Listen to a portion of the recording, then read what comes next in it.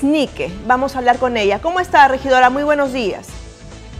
¿Cómo estás? Buen día, estimada Susan. En efecto, desde la Comisión de Educación del Consejo Regional que presido, hemos presentado y ya se aprobó a nivel de Consejo Regional la Declaratoria de Interés Regional de la creación del Parque Paleolítico Paiján Cupisnique, que en efecto este, pues, este parque paleolítico, de acuerdo a investigaciones realizadas por el doctor Jaime Deza Rivas Plata y su equipo técnico, al igual que otros arqueólogos y antropólogos destacados de la región La Libertad y en general, determinaron, ¿no? te comento que hace pues miles de años existen restos líticos. En estos restos líticos de cazadores que vivieron hace más de 4.000 años, ¿no? Entonces, aparentemente se habrían pues eh, tenido ciertos asentamientos eventualmente en Peiján y Cupisnique, en esos 520 kilómetros. Entonces, de acuerdo a los hallazgos que han realizado, por ejemplo, de, megaterios, armadillos gigantes, entre otros, da a entender que este era un bosque, ¿no? una especie de un parque, y ahí existía pues una fauna desaparecida. Entonces, en buena cuenta, eh, este aspecto es trascendental a nivel histórico, a nivel cultural, porque claro, es la primera evidencia que tenemos, tenemos en nuestra región La Libertad respecto de esta fauna desaparecida. ¿no? Entonces, eh, por esa razón es que como Comisión de Educación del Consejo Regional eh, convocamos a los especialistas técnicos, enviamos el informe a la Dirección Desconcentrada de Cultura, quienes también tuvieron a bien emitir un informe técnico sobre el estudio realizado y también pues eh, definitivamente contribuyó esta opinión para que se declare favorable esta ordenanza regional.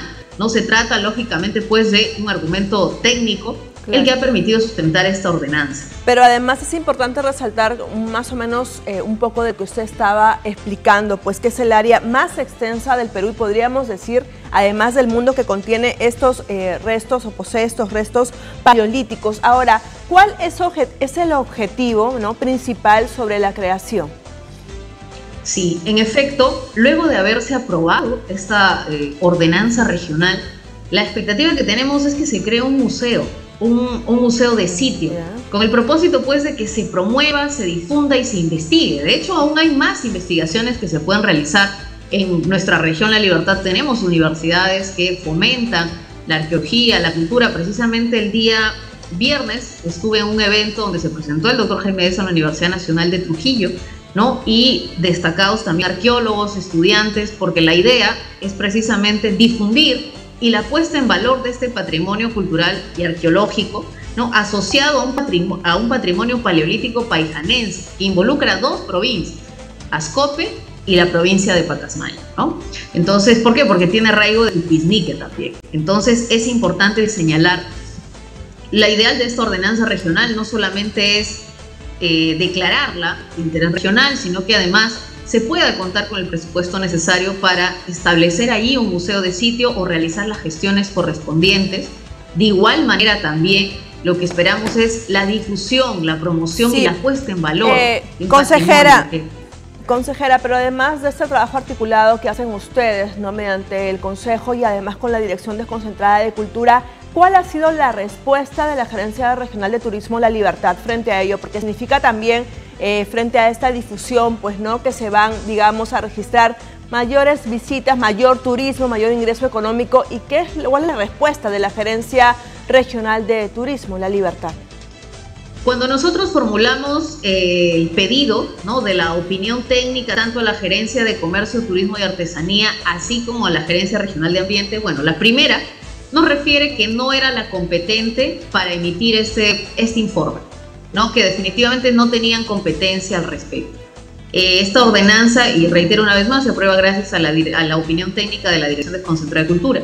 Lo que sí eh, es que después de la misma vamos a tener que realizar estas reuniones de coordinación entre municipalidades, Provincial de Pacasmayo, Ascope y lógicamente pues con la Gerencia de Comercio, Turismo y Artesanía, porque ahora ya existiría el marco normativo que la habilita a poder participar y a gestionar lógicamente la difusión de lo mismo.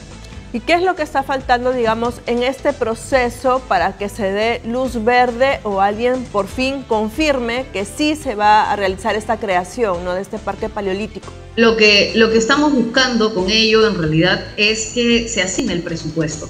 Como se sabe, muchas pueden ser las, las intenciones, pero necesitamos que exista esa voluntad política, que exista también ese ánimo de poder querer invertir en la cultura y sobre todo revalorar aquellos espacios como es el Parque Paleolítico Paiján Cupisnique. Necesitaríamos, y eso es la segunda fase, que la Gerencia de Comercio, Turismo y Artesanía realice una valorización de lo que implica instalar un museo de sitio articuladamente también con la DDC sobre este, esta ordenanza regional.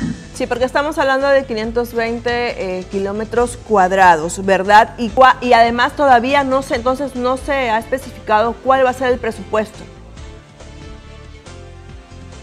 Primero se habilita este marco normativo, que es la labor de, los legisladores regionales, como es el caso pues, de, de, los consejeros.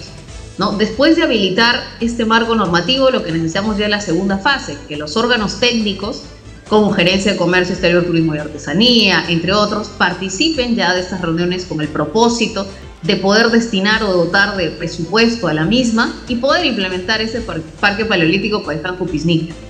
Para terminar, consejera, ¿cuánto cree que duraría este proceso de todo lo que usted nos está diciendo y en el caso de aprobarse, pues ya se gestione, pues no la creación y digamos poner ya en ejecución este proyecto tan importante además para la región? Sí, en definitiva, el, puede tardar por los procesos que existen, desde la formulación de presupuesto, tiene que pasar lógicamente también por las áreas respectivas para las opiniones técnicas, luego seguramente una licitación, entre otros, calcularía que, o estimo, alrededor pues de, de, un año, ¿no? Pero mucho importa aquí, y una vez más lo digo, pues la voluntad política de la parte ejecutiva. ¿No? Entonces, muchas son las medidas que desde el Consejo Regional venimos presentando, consejeros que exponemos la problemática, pero lógicamente eh, esta se queda en una declaratoria, se queda en una propuesta si no encontramos el eco de los órganos técnicos ejecutivos. Y sobre este proyecto, consejera, ¿ya han podido hablar con una autoridad del gobierno central aún o todavía no, no requiere?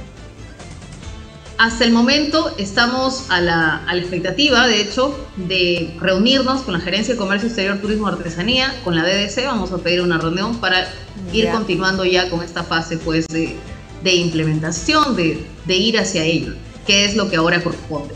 Que ojalá Las reuniones técnicas. Claro, porque significa algo muy importante para el sector educación en la región. Agradecerle de verdad por habernos brindado esta entrevista tan importante.